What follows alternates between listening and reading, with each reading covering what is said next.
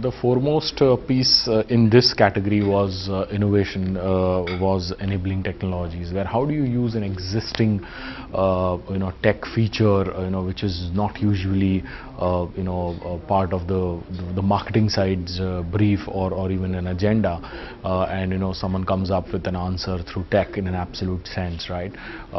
So how different kind of technology was used? Was it a Internet of Things as an approach? So all those, you know, absolutely technologically uh, enabled, uh, uh, you know, possibilities were the way, you know, we saw as winners very clearly.